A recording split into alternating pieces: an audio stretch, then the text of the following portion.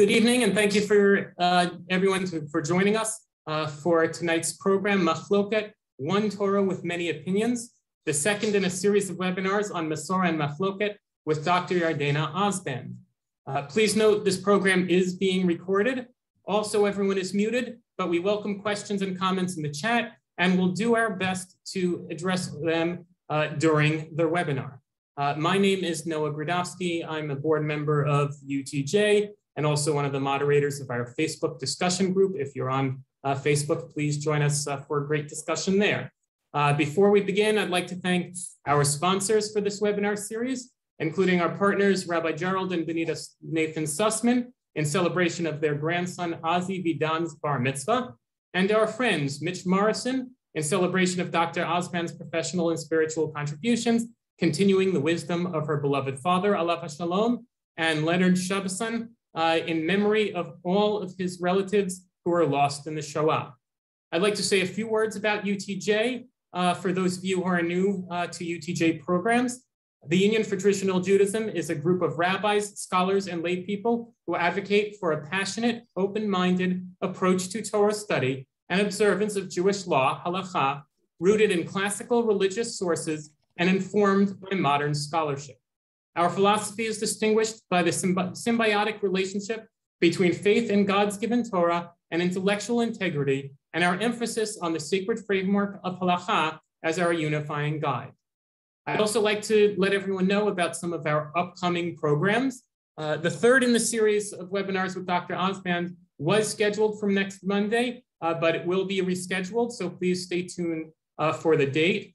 Uh, we also have a webinar titled Exploring Traditional Jewish Perspectives on Physician-Assisted uh, Death, a case study with Rabbi Dr. David Novak and Rabbi Dr. Lila Kagedan this Thursday morning at 10 a.m.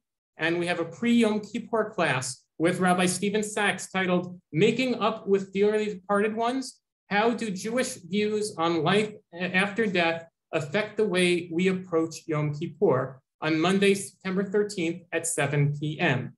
Uh, I'll put all the information uh, about those webinars and how to uh, register for them into the chat right now. Uh, and then I would uh, finally and most importantly like to introduce our speaker this evening, and then I'll turn it over to her. Uh, Yardaena Osband, MD, and is an assistant clinical professor of pediatrics at New York Medical College in Valhalla, New York. Yardaena studied for two years in Midreshet Lindenbaum and received her BA in Jewish Studies and Music at Yeshiva University, Stern College for Women. Yardaena attended medical school at the Sackler School for Medicine and completed her residency in pediatrics at the Maria Fareri Children's Hospital in Valhalla, New York. Yardaena has taught in many schools, synagogues, and has been a scholar in residence in many communities. She lectures on Tanakh, Halacha, and Talmud, with a specific interest in the biographies of the Tanaim and Amoraim. She is also a co-host of the Daf Yomi uh, podcast, Talking Talmud. Yardaena also serves on the board of ORA, the Organization for Resolution of Agunot, the Riverdale Minyan, and is the founder of the Orthodox Leadership Project. She and her family also started the Michael E. Osband Senior Swab campaign uh, with Gift of Life. Yardaena currently resides in New York with her husband and children. With that, I'd like to thank Dr. Osband for being with us uh, for these uh, series of webinars and turn the podium over to her. Thank you so much for that nice introduction. And I, will put a plug in for your Thursday morning um, uh, lecture because uh, Professor Kagedan is a close friend of mine and a colleague of mine at New York Medical College. We do a lot of teaching together. Um, so I'm sure it will be a great program. Um, so for those of you who joined us uh, last week, and for those of you who are new this week, um, today what I want to explore a little bit is the concept of machlokes. Last week, we talked a lot about the idea of transmission and particularly the way that transmission or Masorah is presented in the first parak of Pirkei Avot. And it's really sort of this linear transmission, which goes from generation to generation. And we sort of concluded by saying that, yes, there are some changes that can happen within generation, generation to generation, but the essence of the Torah itself, uh, of the Torah Shabbal Peh, tends to be the same. And so I think this leads us to an interesting question, which is where does machlokas actually come from? Um, and how did we get to a Torah that does have machlokas in it? And what's the purpose of machlokas? And can, can there be something productive from machlokas itself? And so what I want to start with is here is this first source that's in Shmot. This is during the giving of the Torah itself in Matan Torah, chapter 19, verse 8, which says, Vayinu kol ha'am yachdav right? The whole nation answers together after receiving the Torah. Vayomru kol asher diber Hashem naseh, vayeshev Moshe dibrei ha'am el Hashem. So they say all the words that Hashem has spoken, we will do, and Hashem reports that back. But the key here is the vayanu kol ha'am yachtav. Everybody answers together. Everybody heard the same thing, and they answer back together. And so I think this pasuk sort of is part of our question here. How is it that we get to that we know, right? I mean, it's basically, you know, the punchline of so many Jewish jokes that you have two jokes, you know, two Jews in a room with three opinions. Machlokas seems to be part of our natural culture. And as I mentioned before, this first Mishnah in Pirkei Avos, which we learned together last week, right, which has this very linear type of transmission of Masorah, Moshe Kibel Torah Misinai, Umasra Yoshua, Yoshua Lizakanim, Uzakanim Linavim, Unavim Masru La'anshe Knesset Agdola, right? So we sort of have it just goes from generation to generation, very easy way of transmitting.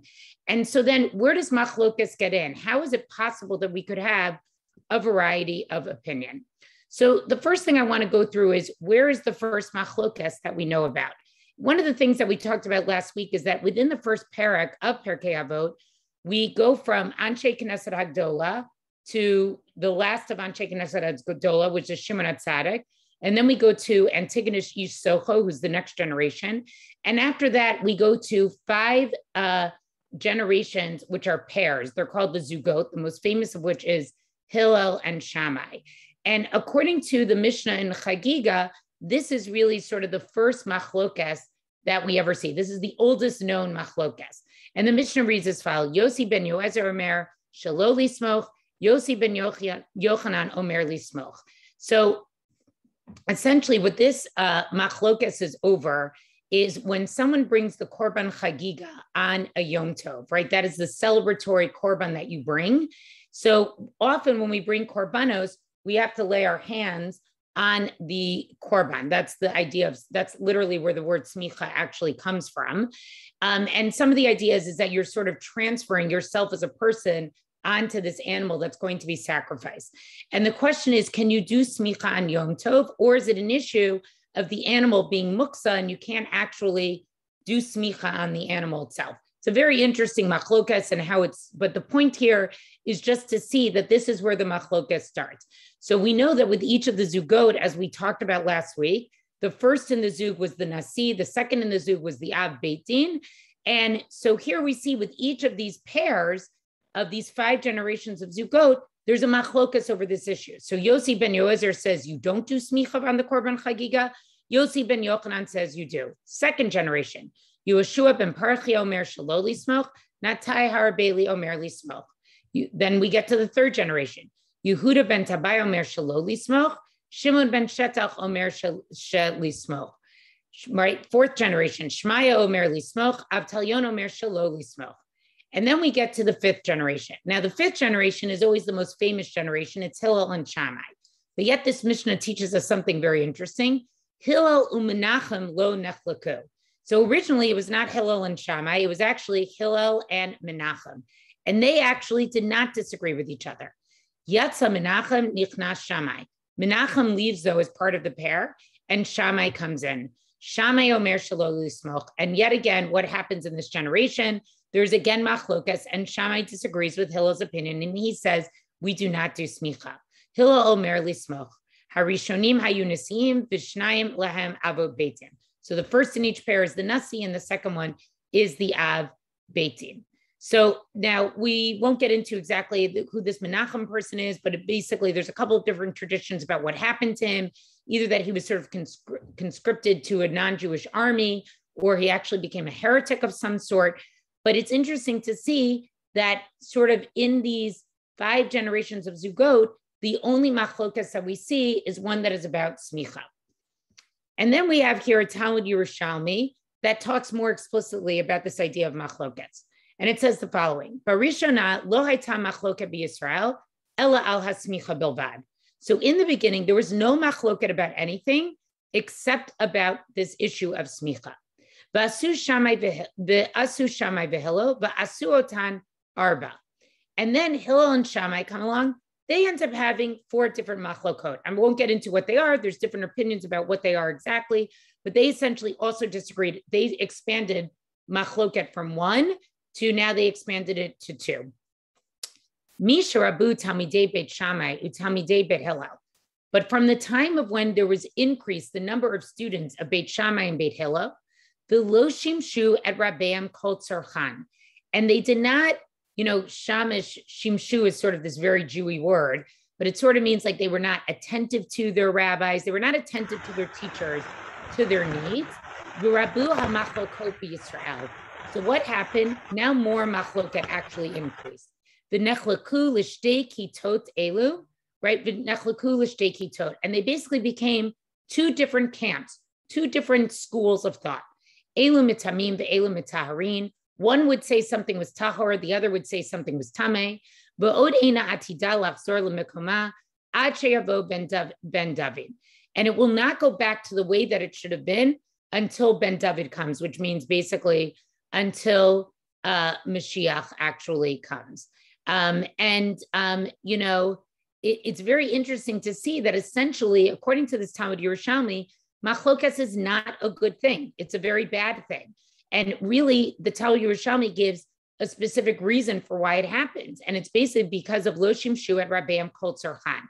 There was something about their students that they did not pay close enough attention to their teachers, right? Maybe they weren't careful enough about what their teachers were actually teaching or how they were teaching it, or the respect that maybe Hillel and Shammai had for each other. And we'll talk about that a little bit more later.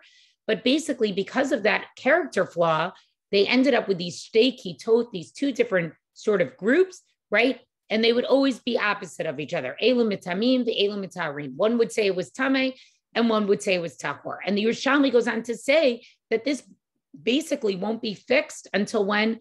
Until Mashiach uh, you know, until Mashiach comes. And then it's interesting to say that Rabbi Chia ends with another interesting statement here. Rabbi Chia b'shem Rabbi Shmuel says, "Lo shvut kala beinech."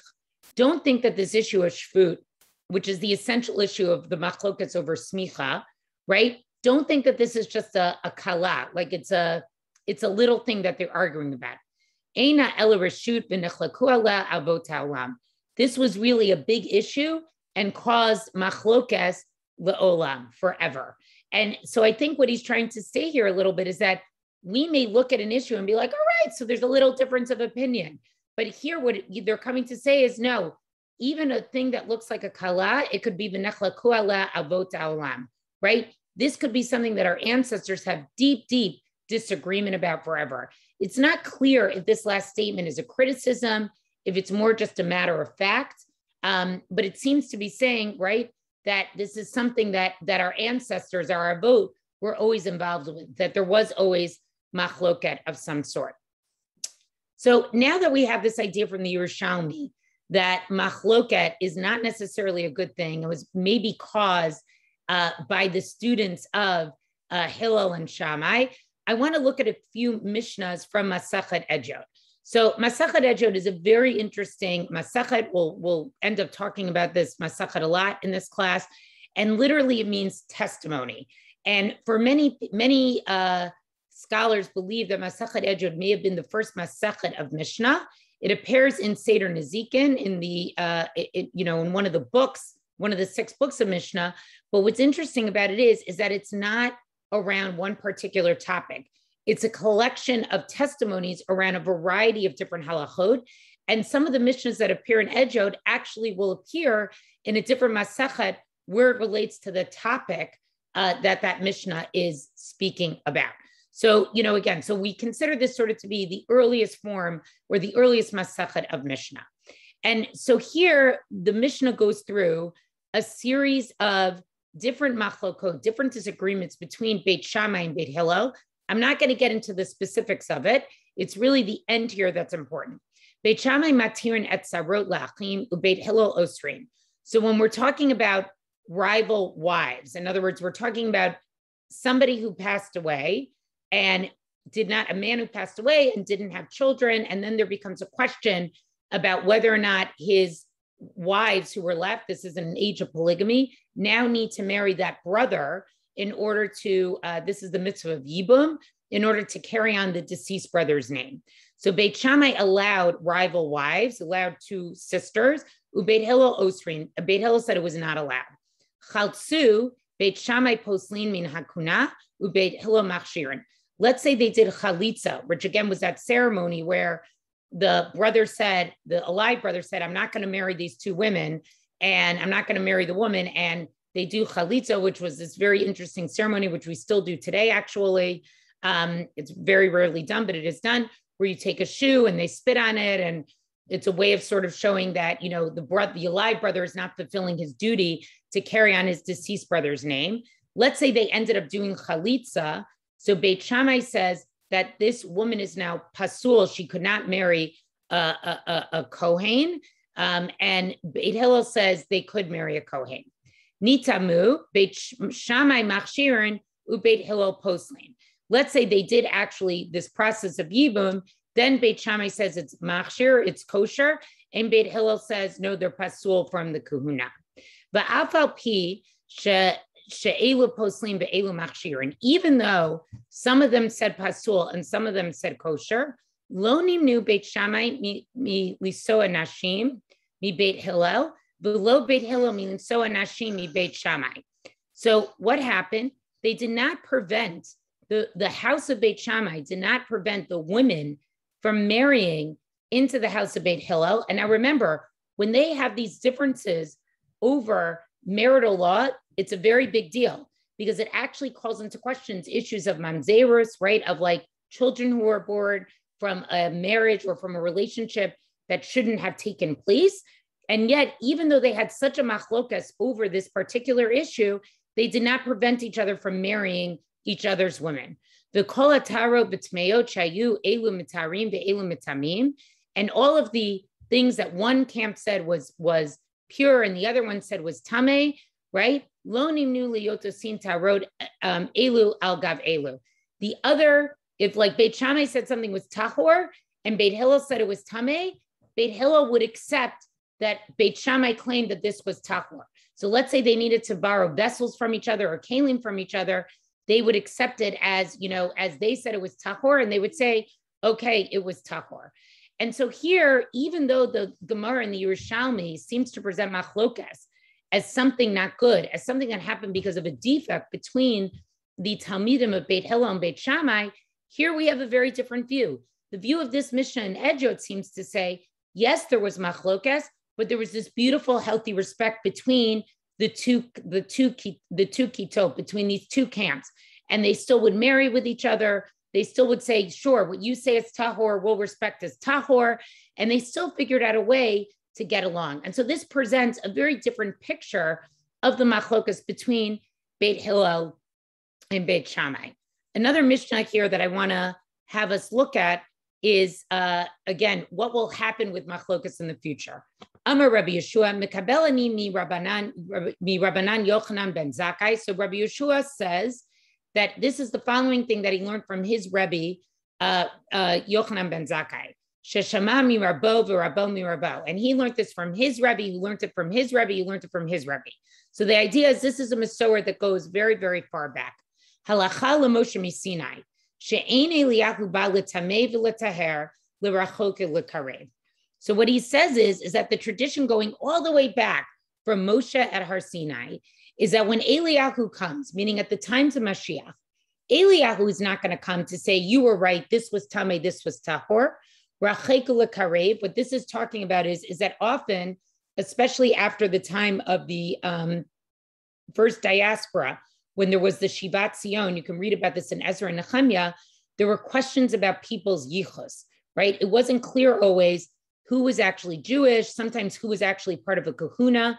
And so what this means is lirachik, meaning to say that they weren't actually Jewish or they weren't part of the kahuna, or likarev, or to say somebody mistakenly thought they weren't Jewish or part of the kahuna and they could be brought in.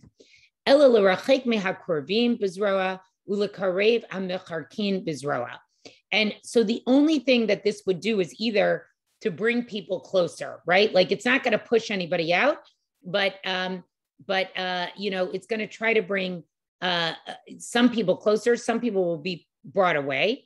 Mishpachat, and now they go through some specific examples here. Mishpachat Beit Sreifa Haita Be'ever HaYardain. There was this Beit Sreifa family who lived in Ever HaYardain. V'rechaka Ben Sion Bizroa.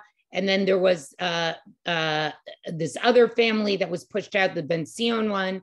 V'odacheret Haitasham V'krava Ben Sion Bizroa. And then there was another episode where this Ben Sion family was brought in. Kugon Elo. So this is what he's talking about. Eliyahu Okay, so this is what he's saying is going to, to happen is that basically Eliyahu is not necessarily going to come to declare these people pure, impure, or to distance them or to bring them closer, but rather the people who already distanced maybe will be brought in, and those who were brought close, and it was by force, okay, they will be they will be brought out. But it's not going to just be this sort of like unilateral you're in, you're out. It's going to have to be a reason to say that somebody is lirachik. Rabbi Yehuda has a different opinion. Rabbi Yehuda Omer lekarev avalo lirachik. It would only be to bring people in, but not to send them away. And again, Rabbi Yeshua tempered it by saying it was people who were brought in by force. Rabbi Shimon Omer lihishabot hamachloket. So Rabbi Shimon has a totally different idea. He says that what that he will be there to. What does lihishabot means? Does anybody have how they would translate that?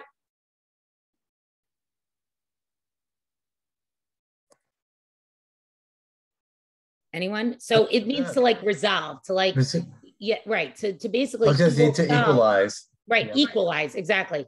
He will equalize all the machloket. So it'll answer all the questions. You know, if there's a machloket, Eliyahu will come and say, no, this was right and this was wrong. But it's this said in a little bit of a nicer way. It's not so much about who's right or wrong. It will equalize it. Will sort of explain it away.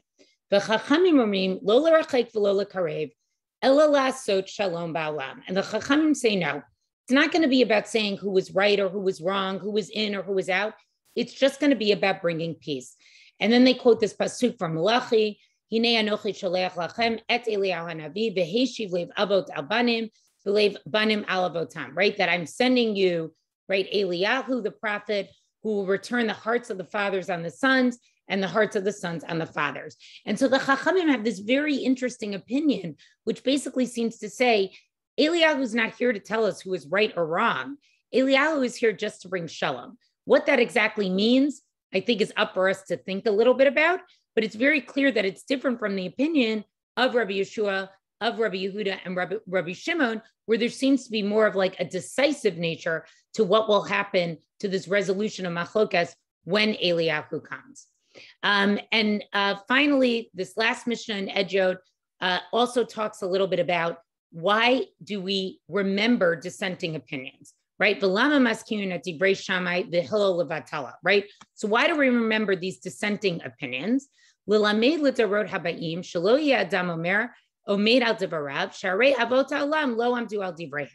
So the first reason is, is because teaching people that machloket existed is healthy. Because when somebody disagrees in the next generation, we can turn to them and say, look, look at Hillel and Shammai.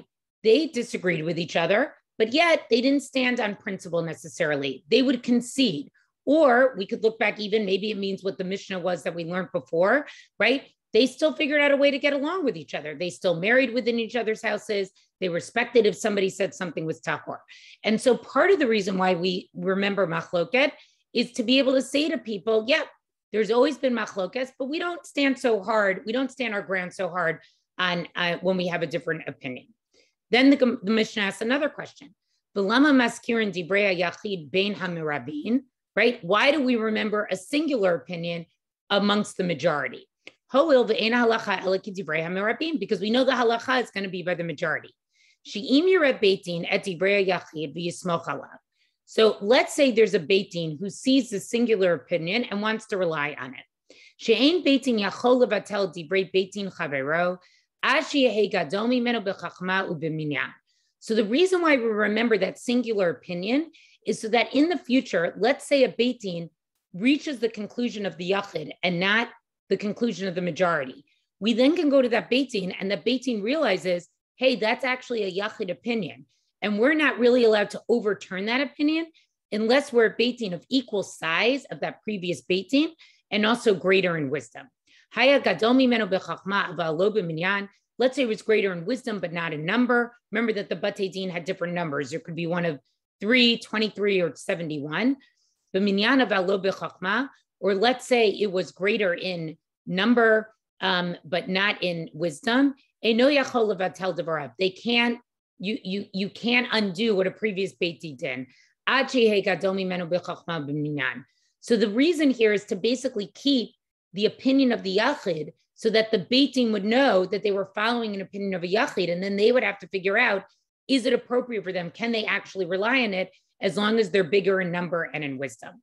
And finally, and I love this, Rabbi Yehuda comes and disagrees with this. So we have like a singular opinion in our discussion of machlokas, right? Amar Rabbi Yehuda, im kain lama maskirin divrei yachid ben hamirabin levatela, shim yomar adam kach ani mekabel yamrulo kedivrei ish poloni shamat.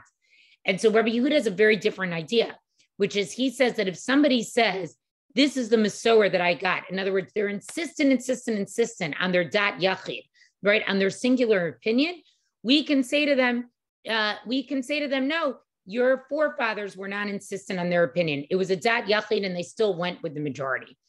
So, you know, I wanted to do this series of Mishnayot in Masachet um, because it's interesting to see these Mishnahs really talk about machloket uh, very upfront. And so, first of all, they present a very different version of the machloket of Beit Hillel and Beit Shammai, which is different than Yerushalmi. That yes, they had machloket. Maybe it wasn't a bad thing. They still figured out how to get along with each other, right? Uh, and then we saw, you know, why is it that we were, um, how will these things be resolved in the time of Mashiach? And the Chachamim basically say it won't be resolved. We'll just have some type of magical peace. And finally, what is the reason to maintain machloket? In other words, why do we record machloket? And that we see already the Mishnah by design shows that recording machloket is actually a value. It actually serves purpose. Finally, I want to go to this beautiful Gemara, which really I think is actually my favorite Gemara that I've ever learned. And it's a Gemara in Masachet Eruvin. Um, and please pay close attention to who says this. Um, and so, oh, sorry, no, I want to get that's the Gemara in, Chagiga, excuse me. So we have this other Gemara in Eruvin, uh, which says the following: Amar Rabbi Abba, Amar Shmuel, Shlosh Shanim Nachlaku Beit Shammai Beit Hillel.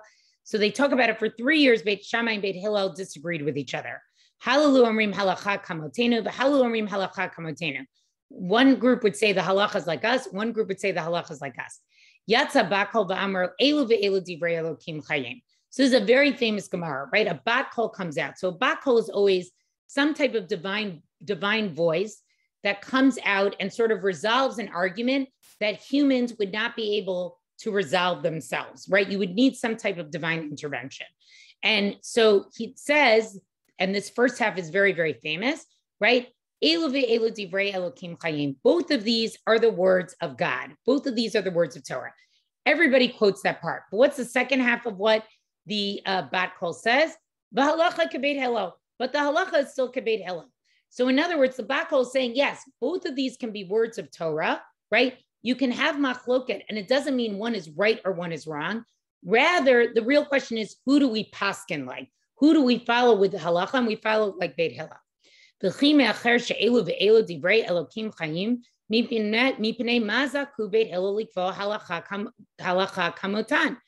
the Gemara asks that question. Wait, the Bat Kol just came out and said Elu ve'elu divrei Elokim chayim.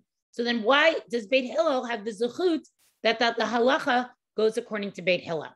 Mipnei shenochin v'aluvin, right? Hayu v'shonin divreihem v'divrei Beit Shammai below od ela divrei beit shammai divreihem. So we learn a very interesting uh, character trait of Beit Hillel. And Beit Hillel, what did they do? They were kind and gracious. And also they would always, when they taught their ideas, right? They would teach also the ideas of Beit Shammai. And not only that, they would teach the ideas of Beit Shammai first.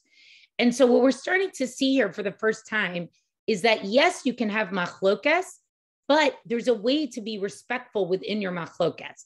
And what this bat kol was saying with this statement is, is that ultimately it was Beit Hillel who showed these particular type of character traits, right? Of being able to be kind, of teaching the, your opponent's opinion, of not only teaching your opponent's opinion, but teaching it first that ultimately allowed that the halacha would follow Hillel.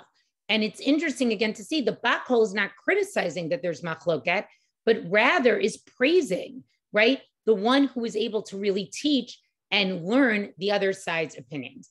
And we most beautifully see this, and this is my favorite Gemara, excuse me, this Gemara in Chagiga. So this Gemara in Chagiga is discussing the following pasuk. It's a pasuk in Kohelet that reads as follows, and it's a very strange pasuk. Divrei chachamim kedarbonot ukemishma wrote nituim asufot echad. The words of the wise are like goads, like cattle prods, right? It's like a stick that makes the cow sort of stay where it's supposed to stay and as nails well fastened are those composed in collections, and they are given from one shepherd. And so the Gemara here wants to understand what exactly is this pasuk referring to. Bale asufot elu talmidei chachamim. So these bale asufot, these collections, are the talmidei chachamim. Sheyoshvin asufot asufot, who sit in groups and groups, boskim b'torah, right? And they're busy with Torah. Halalu mitamim, halalu mitaharin. Some will say that something is tameh, and some will say that something is tahor. Halalu osrim, halalu matirin. Some will say that something is not allowed, and some group will say something is for, is permitted. Halalu poslin, halalu machshirin. One group will say something is pasul, it's not kosher, and the other group will say it's kosher. Shama yomar adam heyechani lamad Torah me'ata tamud lamar kulam.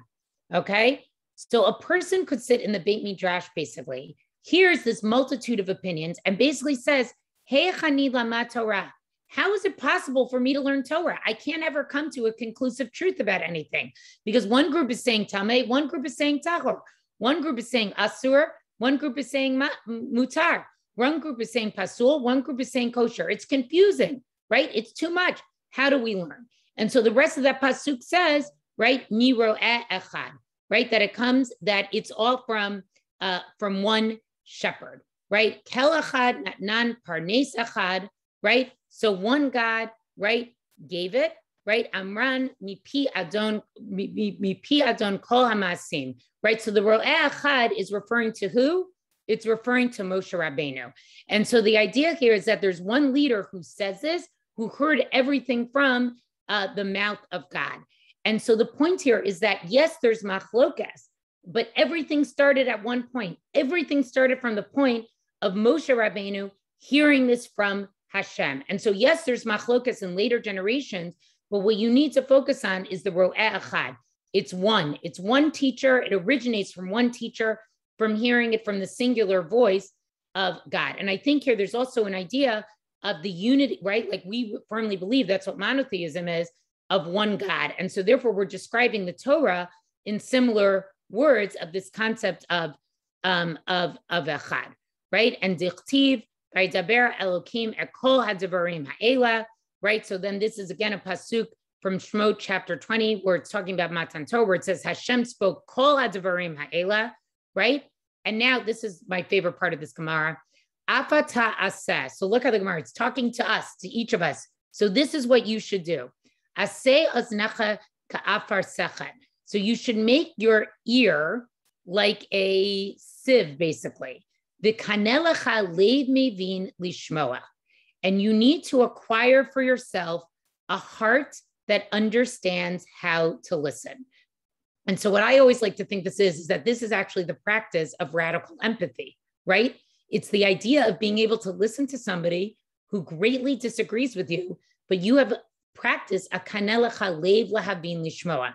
This is an emotional thing that we have to work on. It's not about just listening. We can listen to anybody, but it's the idea that we can listen to somebody who vehemently disagrees with us, right? And emotionally, we can be open to it, right? We can really, really listen. Et divrei mitamim, et divrei mitarim. We can listen to what's tameh and to what's tahor. Et divrei osrin, et divrei matirin. Et divrei poslim, et divrei machshirin. B'lashon hazeh amar lahem, im dur yaton sherabi Elazar ben Azariah, shriya b'tocha. And so who, so who is the person who actually said this?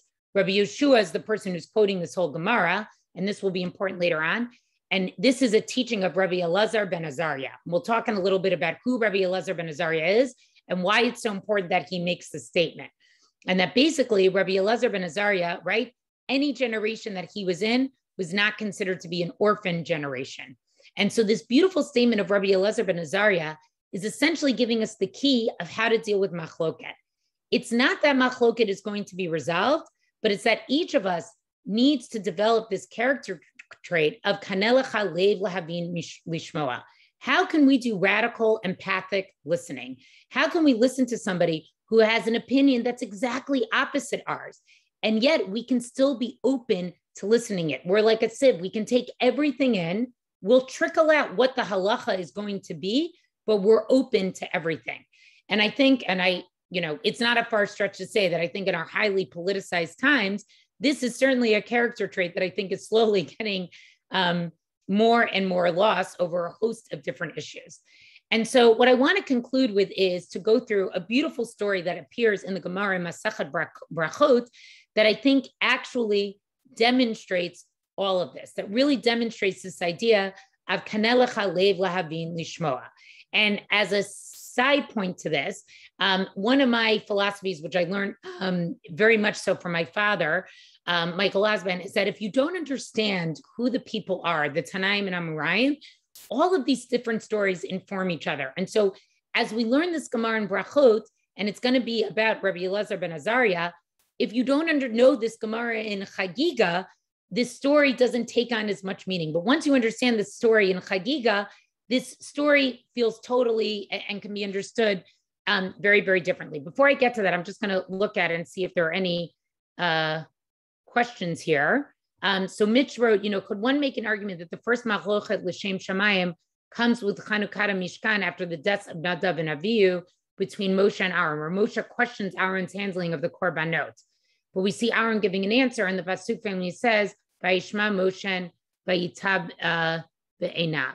So yeah, that's a good question. We don't, I haven't seen a source for that, but yes, we do see that there's sort of a machlokas there. And we do see times in the Torah where Moshe may be unsure of a halacha or needs to go back. It's not always so straightforward, right? Like Benot Slavchad, he wasn't quite sure what to do. So even in those times, we see that sometimes Moshe needs to go ahead um, and and seek an, an answer. Okay, Noah thinks it's very meta, an individual opinion about why individual opinions are preserved.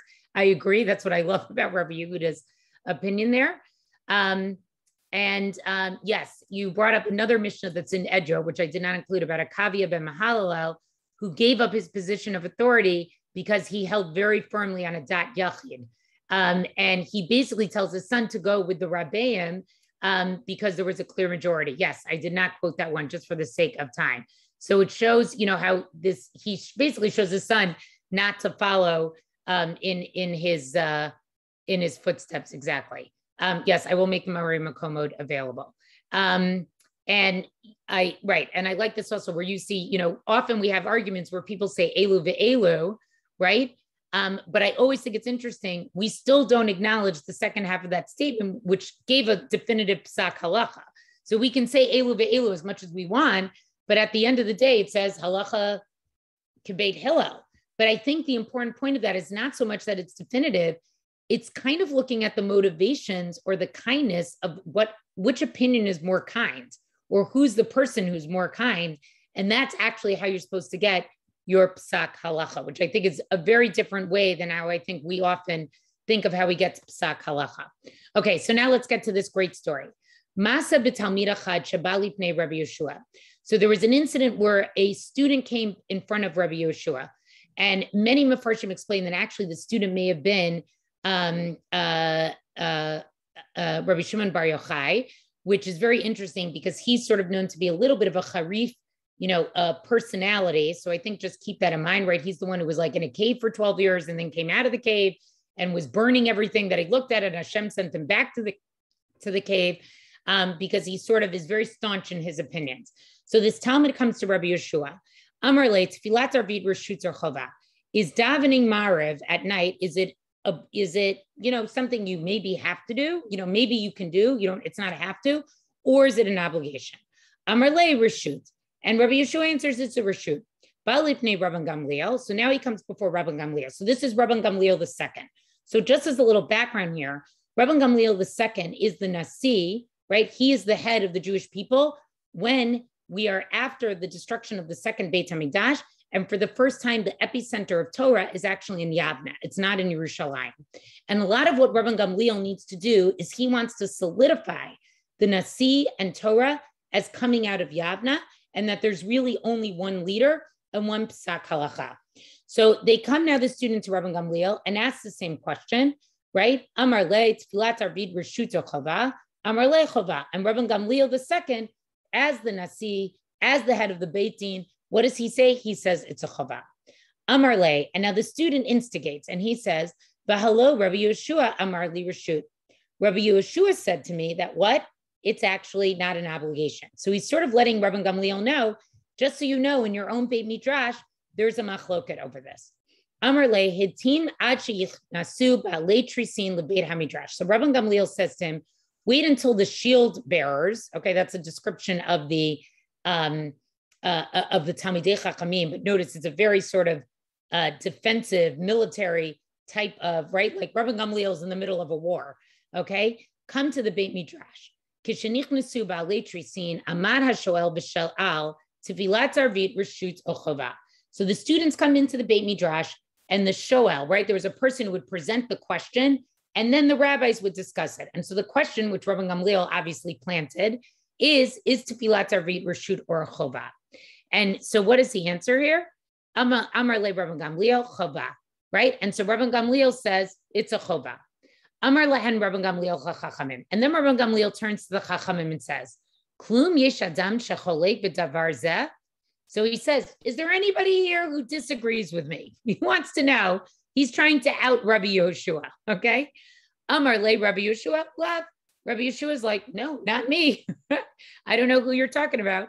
Amar le, he says, V'halo mishmech amru li reshut. I heard in your name that you said it's a reshut. Amar le Yehoshua. Amar le. So Rabban Gamliel says, Yehoshua, amud araglecha. Stand on your feet. Now, again, What's also interesting about this is that we know that testimony always had to be done standing up. So in a way, he's sort of forcing Rabbi Yeshua to sort of testify in front of the Beit Midrash, the Ya'idubach, right? And we will testify in front of you. In other words, we're going to teach you the real halacha. Amar Rabbi Yeshua al Raglav. So Rabbi Yeshua stands up. The Amar al Malay ani chai v'humet yachol achai So he says, look, if I was living and he was dead, meaning the student who outed him, right? I could pretend that the dead person didn't say this. But the fact that I'm alive and he's alive, how can I deny what the living is saying? So Rabbi Yeshua is basically saying, You got me. You're right. I said it. Haya Rabbi Gamliel Yoshev Doresh. So Rabbi Gamliel continues with the lecture. Remember, Rabbi Yeshua is standing up. But Rabbi Yeshua made our glove. Ad Sharananu Kol Ha'am all right, and then the whole nation, notice the description here, starts to murmur. And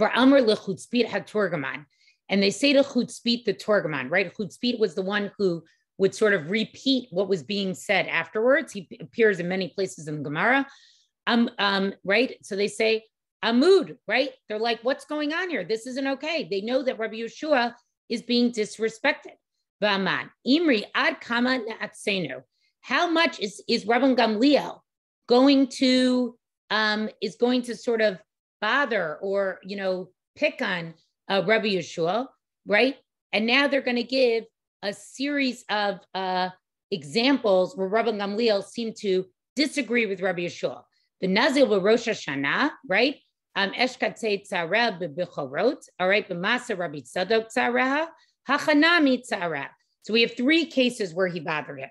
The first one was with Rosh Hashanah. So this is also a very famous Gemara that appears in Masachet Yuma, which is that Rabbi Yeshua and Rabbi Gamliel disagreed about the date of Tishrei, when Tishrei started, and therefore they disagreed about the date of Yom Kippur. And Rabbi, Yush, Rabbi Gamliel felt Yud, right? Yud uh, Tishrei was one day. Rabbi, Rabbi Yeshua, it fell out on Rabbi Gamliel's Yud Aleph. And so what Rabbi Gamliel did was, is he made Rabbi Yeshua appear before him with his staff and a wallet full of money on the day that Rabbi Yeshua believed was actually Yom Kippur. And he made them do that publicly. Another machlokas they had was over the Bechorot. So we know that a firstborn animal needed to be given to the Kohanim. If it got a moon, if it got some sort of blemish, right, then the Kohen could sort of use it for personal use and it wouldn't be given as an actual korban. So what started to happen is some not good Kohanim. We know that this was a, a problem in the second Beit Hamikdash, in the second temple time. They maybe purposefully blemished the animals. And so they made a psak that if an animal was found with a blemish, the Kohen couldn't use it. But there was a question about Rabbi Tzadok. Rabbi Tzadok was a very holy uh, Kohen, and Rabbi Yeshua said, if Rabbi Tzadok finds a blemish, we'll allow it, right? Rabbi Tzadok then will will will trust him that he actually found it. Rabbi Gamliel disagreed with it. And then here's the third case with this issue about Mariv and is it Rashut or if it's or if it is Chova. So what do they say? Tovana avrena aman no kimla nukima, right? So what do they say? Sorry. So they said Tovana avrena. Let's remove Rabbi Gamliel. Rabbi Gamliel is picking on Rabbi Yeshua so much that the masses basically come and what do they say? He can no longer be the Nasi. He can no longer be in charge. Okay. Nukunlem nukima Rabbi Yeshua. So, okay, maybe we should put in charge Rabbi Yeshua. Baal Masahu. We can't put Rabbi Yeshua in charge. Why? Because he's the one who has the machlokas with him. So it look then it would look like Rabbi Yeshua wanted this position of power. Okay. Then it says Nokima Rabbi Akiva, right? So they said, okay, maybe we could uh, appoint instead Rabbi Akiva, right? Dilma Anishle. No, Rabbi Gamliel is going to be able to sort of punish him or, or bother him, right? vote because we know that Rabbi Akiva didn't come from good. Uh, he didn't come from good yichus, right? He didn't come from a from a, from a strong family, so that's why they don't want to use him. Ella Nukame Rabbi Elazar ben Azariah. Uh, so now we have our friend Rabbi Elazar ben Azariah from Kanel Chalev Lavin Lishmoa. And they said, let's appoint him. Dehu Chacham, he's wise. Vuhu Ashir, and he's wealthy, right? And Vuhu Vuhu Ashiri Le Ezra, and he is a 10th generation from Ezra HaSofer. So he has wisdom, he has wealth. And remember, part of the reason why wealth was important is they would sometimes have to give money to gifts to, to Rome, okay? Um, and um, and also he comes from a good family. He, come, he comes from the family of Ezra right? That if we know he's a wise, that if he, you know, if there's a kasha, if there's a machlokas, he'll be able to figure out the answer. Right? Afku azel right? That if there's a present that he's rich, there's a present that needs to be given to the Caesar, he would be able to give it. And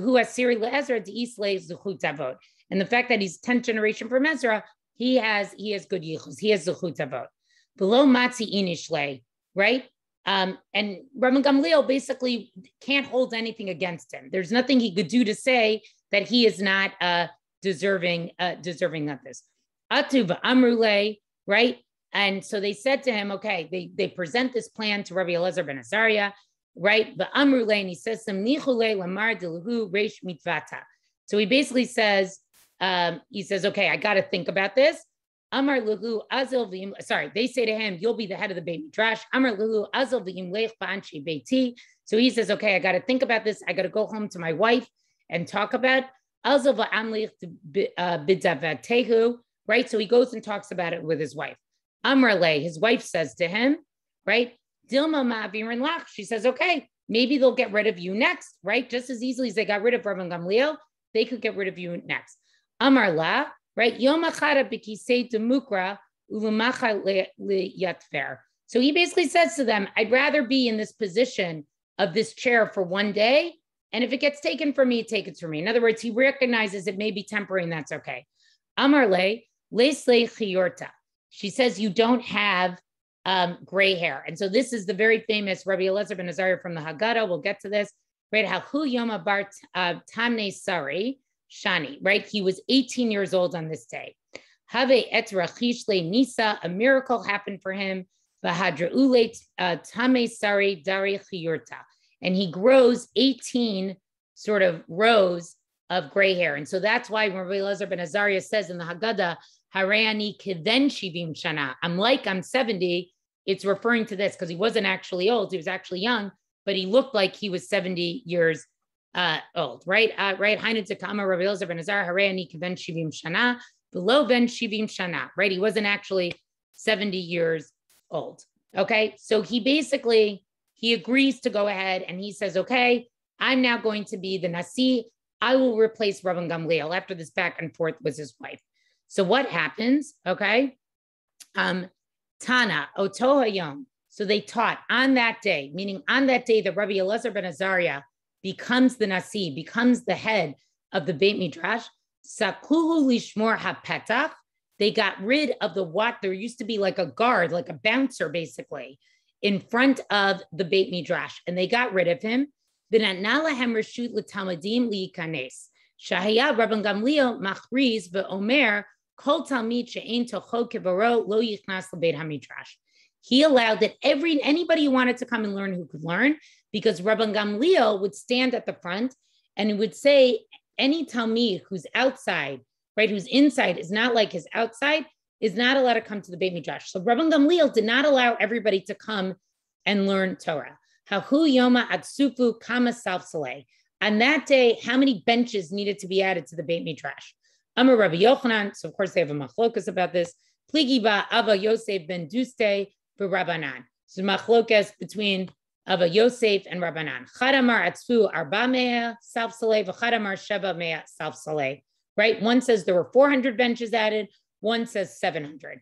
But the point is, is that hundreds, if not thousands of students, right, now enter the Beit Midrash for the first time when Rabbi Elazar ben Azariah becomes in charge, right? Rabban Gamliel. Sees this and he becomes depressed basically. Amar Dilma Chas v'Shalom minaniti Torah Yisrael. God forbid, Chas v'Shalom, I prevented Torah in Yisrael, right? He thought he was doing the right thing. And now he sees once the Beit Midrash is open to anybody who wants access, hundreds of more students came. And now he's very depressed. Maybe he did the wrong thing. Achsule v'chalma. So he is given a dream. And what's the dream? There are these white vases that are filled with dust, right? And so the idea is supposed to be like, yes, all of these students are coming. They look like nice little white vases, but inside, what are they filled with? They're not really filled with anything. But then the Gemara goes on to say. This only appeared for him just to appease his thought, right? In other words, no, these people were actually really deserving to be there, right? Um, okay, and now they go on to say, uh, Tana, okay? So now we learn um, Ejod Bo Bayom Nishnei. On this day that the Beit Midrash was open to everybody, what was taught for the first time? Masachet Edyot. Masachet Edyot, we say, was written on this day. On this day, when the Beit Midrash was finally was open to a multitude of students, we could finally, for the first time, sort of write or um, assemble Mishnah, and not only assemble Mishnah, but we're assembling Mishnah that specifically revolves around the topic of what? Of machloket. Mishnah that really is willing to commemorate or to record a multitude of, of, of opinions. And amrim bo bayom, anywhere where you see that it says bo bayom, hahu yom it's talking about this day. This day when Rabbi Elazar ben Azariah becomes the Nasi, this day where finally all of these students came and what was allowed to happen? Finally, Masachet Edyot, we had the ability to really teach Torah, right? And then it finally says, below halacha hamidrash. There was no halacha that was sort of waiting in suspension. There was nothing that was left unresolved. Shalo perushel that was not able to be explained. But Rabban Gamliel lo manat smomi beit hamidrash. Even Rabban Gamliel did not exclude himself from the beit midrash. Afil sha'at achad even one hour. So this is a beautiful Gemara that I think really illustrates the power of machloket. And again, it's important that it's Rabbi Elazar ben Azariah. We had Rabbi Gamliel, who was the Nasi, who really tried to force everybody to only abide by his opinions. And when he comes out finally too strong against Rabbi Yeshua, the people start to rebel and they say, no, he's not treating Rabbi Yeshua respectfully. So they finally appoint Rabbi Elazar ben Azariah, and again, I think it's significant that this is the same Rabbi Elazar ben Azariah who says he knows that when you sit in the Beit Midrash, you're going to hear a multitude of opinions, like he explains in the Gemara of Chagiga. But he's the Rabbi Elazar ben Azariah who understands this practice of listening empathically, right? Of kanelecha lev lahabin lishmoa. And then finally, the Gemara here concludes, right, based on all of that, that what happens? Yes, we can have, you know, the Beit Midrash, it finally opens. It's open to a multitude of opinions. And what happens? Torah even increases that day. You have more students, you have more opinions, right? And then the Gemara, I think, wants to be very clear that yes, Masachet Edyot is sort of collected on that day, which has plenty of machloket in it. But the point here is that once you open yourself to being able to hear a difference of opinion, what happens?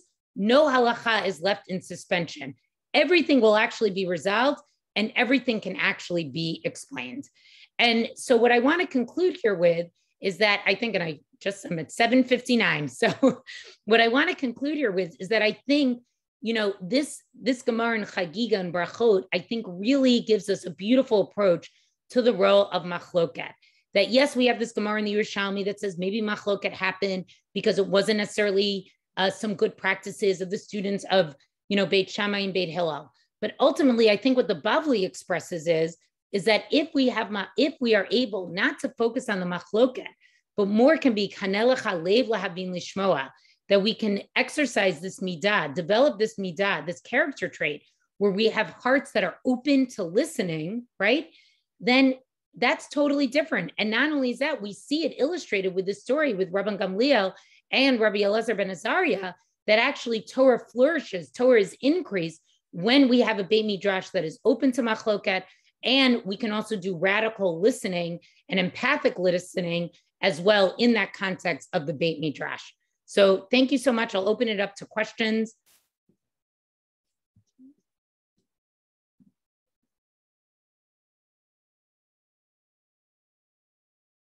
I'll put, I'll send you the source sheet. Ah, I fell for the oldest trick in the book. I forgot to unmute myself before I started oh. talking. uh, it's kind of like getting stuck in a land war in China, in China if you know what I mean. Yes. Uh, anyway, uh, Mitch, uh, you had uh, another question I think that you put into the chat. Do you want to unmute and uh, raise that question? If others have questions, please feel free to put it into the chat or let me know and we, we can try to recognize you. Sure, and, and I guess that is a really excellent uh, presentation. So thank you very much, Dr. Osband. Um, I'm curious about the viability of Machlok Lashem Shemayim. And you, you, even see it today where um, if a tshuva or position comes from one group, um, it, it, may be debated more seriously within a certain circle, um, or may be rejected based on its affiliation. So for instance, um, there's a very lengthy tshuva that came out in the conservative movement on Zoom during the, the height of COVID. It was, it was a substantial position that one could agree, disagree, or even parse it. Um, but within the, in much of the Orthodox world, it was never even considered, right? And vice versa, you take that with a lot of things. In different circles, that one, one group issues a position, it's readily dismissed as opposed to the, the argument. And what where does that fit into this conversation of machloket? And also you know the kabel what is it? That's kashev kolamet uh, meble mishamar. The Roman talks about wherever follow the the quality of the argument regardless of who says it. Right so i look i i think that's really a huge issue. And i think when we learn these passages I think what we learned, the Tanaim had vehemently, uh, you know, they, Rabbi Gamliel and Rabbi Yeshua disagreed about the date of Yom Kippur. And ultimately, Rabbi Gamliel gets removed because he was disrespectful to Rabbi Yeshua. Now, I should just, you know, end that story with eventually Rabbi Gamliel does get reinstated and he shares the position with Rabbi Elazar ben Azariah. So I, I just want to say that is the actual end of the story. But yeah, I don't, I, I think this dismissiveness and the type of attacking that goes on, particularly in, let's say, more right wing orthodoxy, I don't think it's really reflective of how the Tanaim and Amoraim dealt with each other. And I certainly don't think it's the value of Rabbi Elazar ben Azariah. Um, and even that Gemara that talks about, in, you know, a Reuven of Elu ve'elu divrei Elokim Chayim, it's very clear that that the reason why we follow Hillel is not because of the logic of his argument. I think that's what we always say that, you know, Hillel's more Makel, Shammai was more Machmir. No, it's really that Hillel was willing to teach Shammai and had a totally different approach to things in life. And he's credited for that by the halacha always following Hillel. Thank you. Okay, if there, there are no other questions, I think that's really an excellent uh, note to uh, end our pre presentation with. And once again, uh, thank you uh, to Dr. Uh, Osband for her presentation. Uh, let me just make a couple of closing notes. First of all, thank you again to our sponsors. I put the name of the sponsors into the chat.